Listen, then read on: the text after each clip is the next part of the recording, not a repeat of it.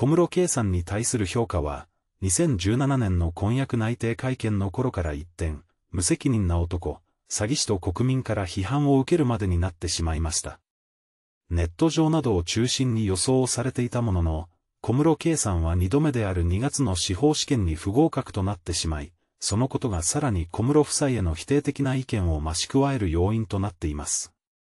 小室さんへの批判の中には、小室さんの能力を疑う声も多数上がっています。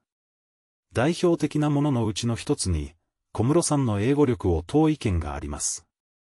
司法試験の別の合格者は、日本人留学生のコミュニティで勉強会を開き、司法試験の予備校の教材を交換したり良い教材を教え合ったりするなど、あらゆる時間を勉強に費やし、英語が母語でないというハンデをできるだけ補うための努力を払ってきたと言います。一方で、小室さんはこうした日本人コミュニティに参加しておらず、情報収集の点では不利だったと言わざるを得ません。さらに、二度目の司法試験までの間には眞子さんとの結婚や、ニューヨークへの渡米、新婚生活などもあり、小室さんが勉強する時間を十分に取れなかった可能性は高いでしょう。小室さんと接点のある司法関係者は、彼は日本のインターナショナルスクール出身で、英語には自信があるのかもしれませんが、我々から見れば堪能とは言えない。前回の試験で不合格だった後、二度目の試験に挑戦すると聞いて、正直、あの英語力で大丈夫なのか、と心配になりましたと話しており、小室さんの英語力には不安を感じる面があるようです。もう一つは、小室さんが筆記試験に弱いのではないかという意見です。小室さんの英語力に疑問が投げかけられる中で、極めつきは小室圭さんの母親である小室佳代さんが、あの子は論文は得意でも、人生で試験はそんなに受けてきてないですから中黒中黒中黒中黒中黒と、小室圭さんの試験対応能力に不安を投げかけていました。小室佳代さんが、小室圭さんが試験に落ちた場合の保険を前もってかけておいたという見方もできるかもしれませんが、それでも小室圭さんの試験に対する能力への疑問を拭うものとはならないでしょう。小室さんが筆記試験を受けて合格したのは、国立音楽大学附属小学校に入学して以来一度しかなく、カナディアン中黒インターナショナルスクール中学部へ入った時だけで、国際キリスト教大学やロースクールのフォーダム大学を受験した時のいずれも、書類選考と路術試験のみでパスしているようです。英語力への疑問、勉強不足、さらに試験本番に弱いというハンデを抱えた状態では、小室さんが7月の司法試験に合格するという期待はできないでしょう。小室さんが司法試験に合格しなければ、本人や眞子さんががっかりすることはもちろん、小室圭さんに多額の支援をしている奥の法律事務所は裏切られたと感じるかもしれません。実は、小室圭さんは奥の法律事務所の奥野氏に対して、大きな不義理をしているようです。というのも、奥野氏は小室さんがフォーダム大学への留学を目前に控えた2018年7月、次のように語っていました。事務所に戻って仕事をしたいと言っている。彼が戻ってくればますますいい仕事を期待できるんじゃないかさらに、海外で小室さんが拠点を築きたいと思っていることについては、聞いていませんと明言していました。つまり多くの法律事務所は、小室圭さんが将来的に多くの法律事務所の戦力になることを期待して送り出しているということです。しかし、眞子さんは結婚会見の際に小室さんに海外での生活拠点を築いてほしいと語っていましたから、法律事務所側にした約束は嘘だったことがわかります。この一連の流れについてネット上では、小室さんは詐欺罪に問われるのではないか、として批判の声が上がっています。小室さんとのような経緯で法律事務所から金銭的な支援を受けていたのかはわかりませんが、もともと日本に戻るつもりがなかったのにもかかわらず、フォーダム大学ロースクール卒業後に奥の法律事務所に戻ると約束して、金銭的支援を受けていたとするなら詐欺罪が成立してしまうことになります。奥野氏がなぜ、何のために現在も金銭的な支援を続けているのかどうかはわかりませんが、もしかすると、小室さんの巧みな話術によって言いくるめられているのかもしれません。小室圭さんの大学時代の同級生も、以前、小室くんは、400万円の借金トラブルなどが話題となりましたけど、実は、学生時代にも、何度か先輩や同級生からお金を借りることがあったようです。中には、そのまま卒業して踏み倒された人も何人かいるようですね。なんというか、借りる時にも、返す時にもすごく、話術が巧みで、いつもちょっとしたラブルでお金が必要になったんだけど、ちょっとバイトしてすぐに返せるから、といった感じで借りて、返済を迫られると、いろいろと事情があって、今は返せないんだけど。すぐに返せるから、といった感じで相手を安心させるんです。と語っていました。こうした話題に対して宮内庁関係者は、宮内庁としても元皇族の結婚相手が詐欺罪として訴えられるということがあれば黙っていられません。そのため、小室圭さんに対して事実を説明するようにと要求がなされたことがあったのですが、その時に小室さんは、そんな約束した覚えはないです。と一周したとか。法律事務所側が訴えるということをしなければお蔵入りになるかもしれません。と話します。小室さんになぜ法律事務所側は現在に至るまでもずっと援助し続けているのでしょうか？小室さんに法律事務所は騙されているんじゃないか。本日も最後まで動画を見ていただきありがとうございました。また皆さんに感じたこと意見などをコメントして言っていただけたら嬉しいです。もしよろしければ評価などもお願いします。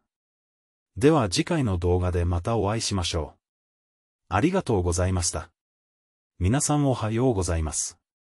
地平線ニュースです。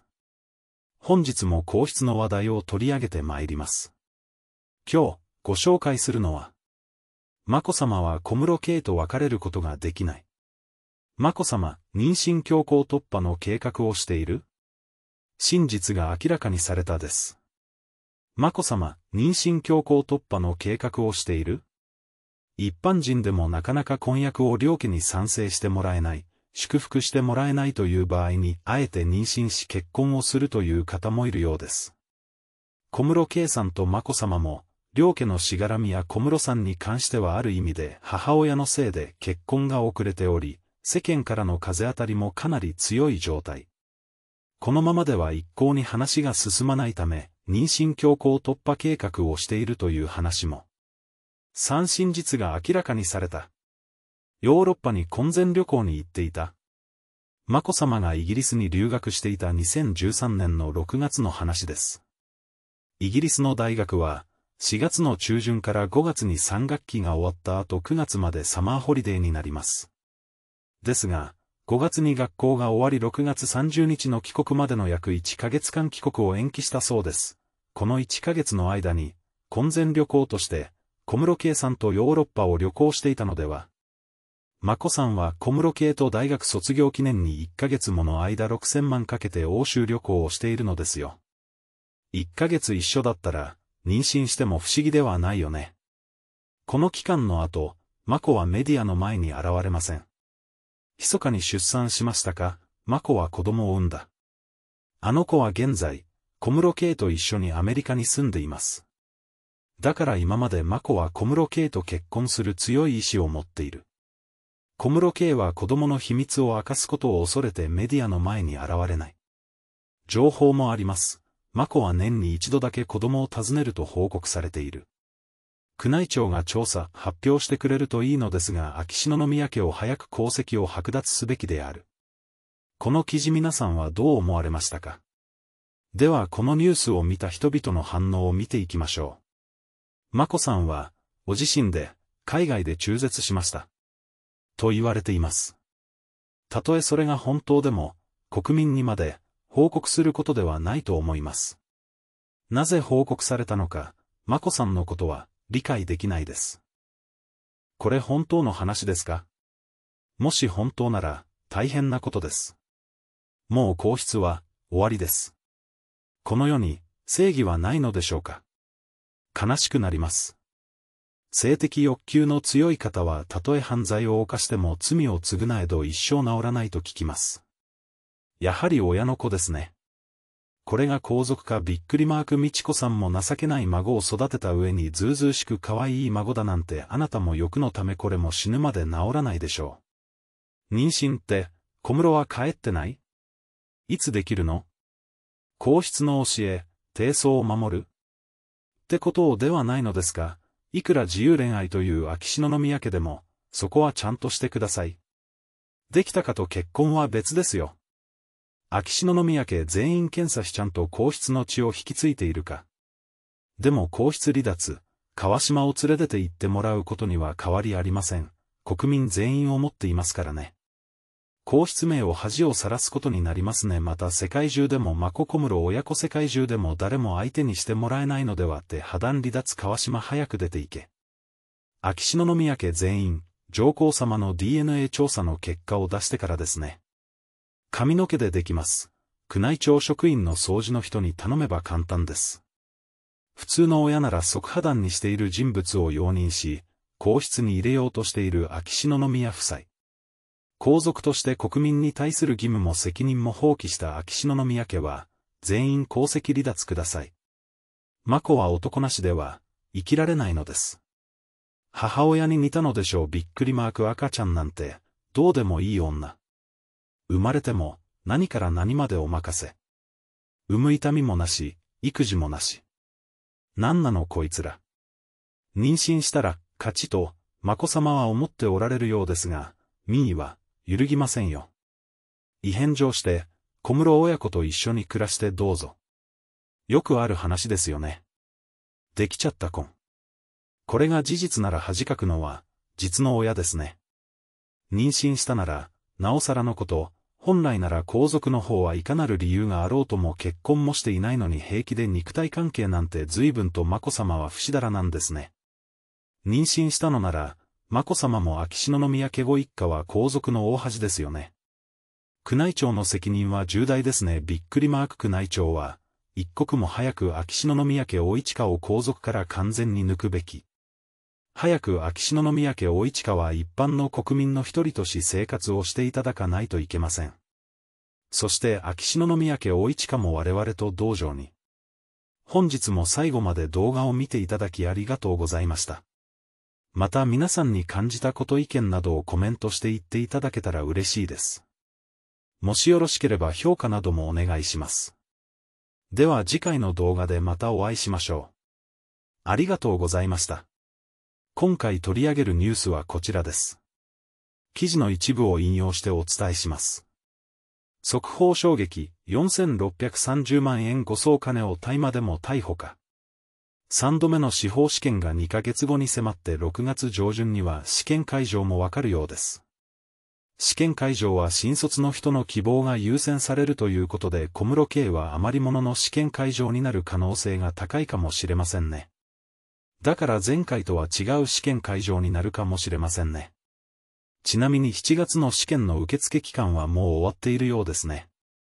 ただし試験会場ではワクチン接種証明か陰性証明のどちらかの提示が必要になるかもしれないようですね。初日が論文で200点満点で2日目が200問の択1試験ですね。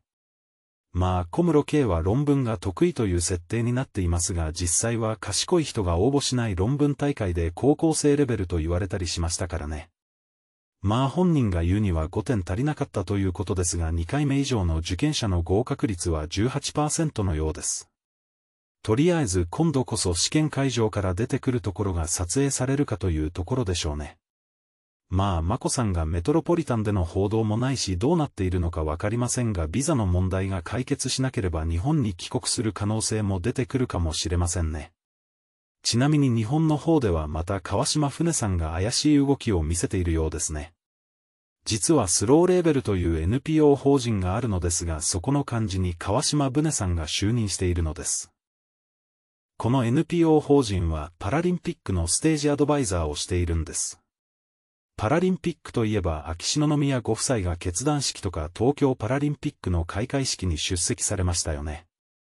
それで秋篠宮様が皇室特権で典子様の弟の川島船さんのところに仕事を振った可能性がありますね。もうなんか悪さしまくっていますね。俺を漢字にしたら政府から仕事がもらえるよということで皇室特権を利用したんでしょうね。もうどこまで悪さをしたら気が済むんでしょうね。まだこの辺は篠原丈一郎さんやゆみりんさんも知らないだろうからちょっと深掘りして詳しく調べてもらえると嬉しいですね。なんかこういう皇室利用している団体がいくらでもあるんでしょうね。篠原城一郎さんも十分稼いだからもういいだろって怒っていましたからね。もしかしたらこういう怪しい団体に再婚相手の栗原直さんも今後関わってくるかもしれませんね。もう少なくとものりこ様には功績離脱してもらうしかなさそうですね。ちなみに秋篠宮の本についてはマゾンレビューはコメントも制限されてレビューを書き込むことができないようですがデイリー新潮でも記事が掲載されていましたね。婚約内定が報じられた時のことも書かれていました。江森さんは婚約内定の祝意を伝えるためにこの度はおめでとうございますと注意深く挨拶したようです。これはこの時にすでに父親の自殺とかが報じられていて小室圭に不満を抱いているかもしれないと思ったから注意深く祝意を述べたようですね。そしたら秋篠宮様はまだその時は相手の父親が自殺とかそういった話を知らなかったのかにこやかだったようです。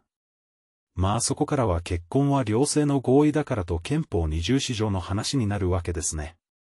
それで定職についていないことについても今のパラリーガルのままで年収も300万円でいいと答えたわけですね。マーミの丈に合った生活をすればいいということですがパラリーガルで低収入なのに世界一物価が高いマンハッタンに住むわけですね。ちなみに金銭トラブルが報じられてからはこの問題は秋篠宮家は関係なく小室家の話だからきちんと国民に説明するように本人に話してあるとごったようですね。ただ結局は眞子さんが私がお願いしましたと秋篠宮家が深く関わっていたことが判明したわけですね。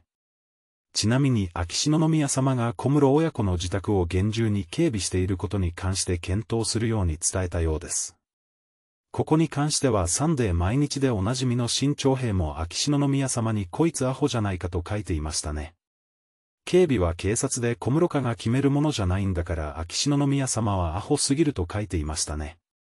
そしてこの本で宮内庁に対しても不満を抱いている箇所として天皇陛下の大乗祭について公費ではなく私費でやるべきだと宮内庁に訴えていたようですが聞く字を持たなかったと述べているわけですね。ただお金の面に関しては女性自身に秋篠宮家の改修費用について書かれていましたね。工事が大幅に遅れているようで今年3月に終わる予定だったのが秋頃まで伸びるようです。天皇ご一家の改修工事が8億7千万円で秋篠宮家は25億円から突如8億円増えて33億円になりさらに仮ごところで9億8千万円かけているわけですね。ちなみに工事が延期された理由についてコロナで密を避けるために人数を減らしたり工事が中断した影響もあるということですが別の理由もあるようですね。